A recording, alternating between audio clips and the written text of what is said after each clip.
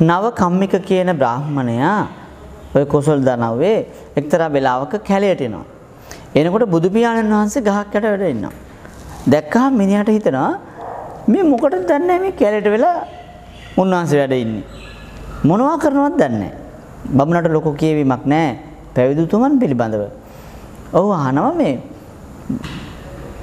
කේසු කම්මන්තා කෛරන්ති මේ දැන් ඔබ වහන්සේ මේ ඔබ මේ කොහොමද මේ කැලේට වෙලා මොන කර්මාන්තද කරන්නේ? මේ කැලේට කැමැති වෙලා බොහොම ප්‍රීතියෙන් ඉන්නවා වගේ. එහෙම කොහොමද ඉන්නේ කියලා අහනවා. ඒ කියන්නේ තනියමනේ පින්වත්නි මිනිස්සු හිතන් ඉන්නේ තනිකම කියන්නේ දුකක් කියලා. ඇත්තටම තනිකම දුකක්ද සැපද තනිකම දුකක් වෙන්නේ ධර්මයේ දන්නේ නැති මිනිහෙකුට. ධර්මයේ දන්න මිනිහෙකුට තනිකම කියන්නේ සැපක්. භාග්‍යතුන් වහන්සේ වදාරන්නේ සොඳුරු හුද කලාව. ඒක මහා සෝයක් බවයි. මොකද්ද මේ සොඳුරු හුද කලාව කියන්නේ? දැන් නවකම්මික බ්‍රාහමණයට බුදුහාඳුර පැහැදිලි කරනවා මම ඒ ඒ වැඩ ඔක්කොම කර්මාන්ත ඉවර කරලා තියෙන්නේ. මං කරන්න ඕන වැඩ ඉවර කරලා තියෙන්නේ. ඔබ තාම වැඩනේ. අපි තාම වැඩනේ. කෙලෙසුන් නැස උත්තමයෝ කතකිච්ච වැඩ ඉවරයි. ඒ විතරක් නෙමෙයි මේ කෙලෙස් වනය සම්පූර්ණයෙන් විනාශ කරලා ඉන්නේ. ඒ ක්ලේශ මුල් ඒ රාග ద్వේෂ මෝහ කියන උල් ගලවලා දාලා ඉන්නේ. මං කොච්චර සැනසෙල්ලෙන්ද උන්වහන්සේ පැහැදිලි කරනවා ඒකෙන් ලැබෙන ප්‍රීතියට තිබ්බ කැමැත්තත් නැති කරලා ඉන්නේ. ඒ විවේක කොච්චර සුන්දරද? පින්වත්නි මම ඔබට කියන්න උත්සාහ කරන්නේ මේ හුදකලාව කියන එක දැන් අපේ අම්මලා ඉන්නවා ගෙවල් වල දරු මල්ලෝ විදේශ රටවල. දැන් මේ දවස්වල අලුත් අවුරුද්දට පුතාට එන්න බෑ. දෝනිට එන්න බෑ. හැබැයි අම්මා ඉන්නේ හරි දුකෙන්. එයා කියනවා මේ කවුරුත් නෑනේ. කී දෙනෙක් හිටපු ගෙදරක්ද මේ ගෙදර දැන් මං තනි වෙලානේ කියනවා.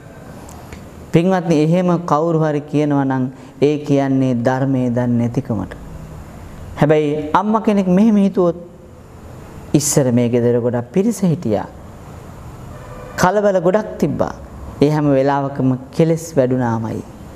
හැබැයි දැන් ඒ හැමෝම ලෝක විවාහය අනුව මම්මගේ යුතුයකම කළා. ඒ ඇතු දැන් විදේශගත වෙලා වැඩවලට ගිහිල්ලා දරුවෝ වුණත් ඒගොල්ලෝ වෙන වෙනම අය. දැන් කෙලස් ඇති කරන පිරිස් ගෙදර අඩුයි. ගෙදර නෑ.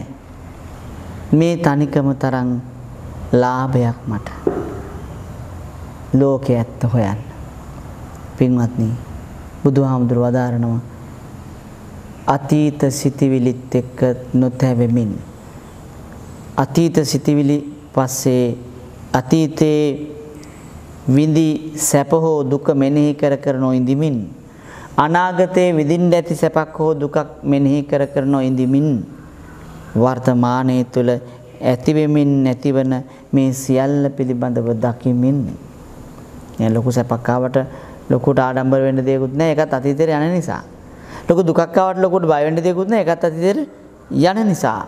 මෙන්න මේ විදිහට දකිමින් යම් කිසි කෙනෙක් කාලය ගත කරනවද ඒ හුදකලාව සුන්දරයි. ලෝකේ යථාර්ථය දකිමින් පින්වත්නි ඒ සොඳුරු හුදකලාව තියෙන්නේ ධර්මාව බෝධයෙන් යුතු සිතක් තියෙන කෙනෙකුට. යම්කිසි ධර්ම කාරණා පිළිබඳ කියවීමක් තියෙන කෙනෙකුට. එයා එයා ඒ හුදකලාව යොදා ගන්නවා සසර පුරා ක්ලේශයන් පුරුදු වෙච්ච හිතට නික්ලේශී බව පුරුදු කරන්න. දහම් පණිවිඩ හිතට ඒත්තු ගන්නන්න. තමන්ගේ මනසට ඒවා කියා දෙන්න ඒ හුදකලාව යොදා ගන්නවා. එයා තනියම මෙනෙහි කරනවා ලෝකෙ මෙහෙමයි ලෝකේ මබාගත් එකක් තියෙන්නේ. මේක මහා බොරුවක් බලන්න මං තරුණ කාලේ මේ මේ ෆොටෝ එකේ කොච්චර ලස්සනට ඉඳලාද දැන් හැටි ඒ ෆොටෝ එකත් ඉතින් ওই ෆොටෝ එක මං වගේ පෙවුනට මම නෙවෙයිනේ ඒ සටහනක් විතරයිනේ. නමුත් මං ඒක මම වගේ පිළිගන්නේ හැටි මම වෙලාවකට ෆොටෝ එකත් එක්ක කතාත් කරනවානේ. කොච්චර මුලා වෙලා දින්නේ.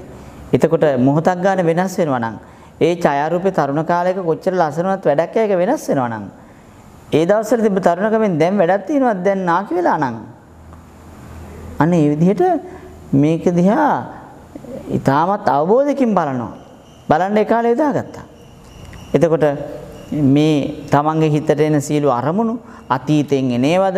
අනාගතයේ වෙන්න තියෙන දෙයක් පිළිබඳ අදහසක්ද? පෙර සංසාරයෙන් එන එකක්ද? ඒව පිළිබඳ දකිමින් මේ මේ සිතේ ස්වභාවය මේකයි. මේ කෙලෙසුන් පිරිච්ච ලෝකෙ මෙහෙම නොනනම් තමයි පුදුම. හැබැයි මම මගේ හිත හීලෑ කරගැනීමේ සියලු ශක්තියෙන් සමන්විත යුතුයි. ඒ වෙනුවෙන් මම මගේ හිත ප්‍රගුණ කළ යුතුයි කියා සිතට යහපත් පණිවිඩ කියා දිදී කියා දිදී. එන්න එන්න ක්ලේශ හතුරා එක හොඳ සටනක් කරන්න තනිකම සැපක් නෙවෙයි ධම්මා. කට්ටිය ඉන්න ගෙදරක ඔක් කරන්න බෑ. එහෙනම් ඒ සොඳුරු හුදකලාවට සතුටු වෙන්න කියලා අපි යෝජනා කරනවා මේ පින්වත් හැමදෙනාට.